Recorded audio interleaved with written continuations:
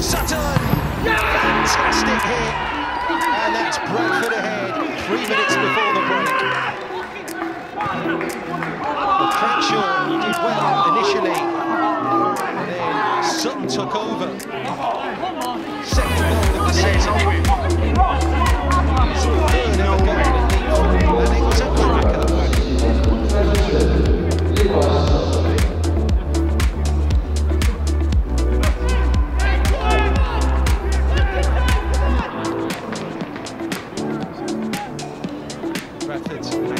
Magnificent fall.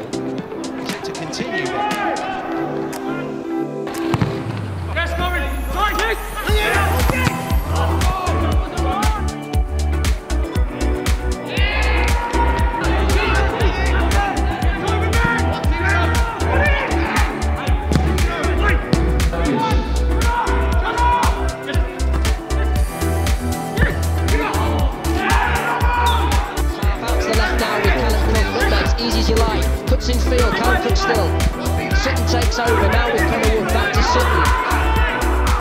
Whips a right yes. the ball. Free man, Andy Cook. Space! Space to score! Andy Cook. Chested down inside the area. Walsall's defence nowhere to be seen. But Andy Cook doesn't matter one bit. Takes that in his stride and the left footed shot into the bottom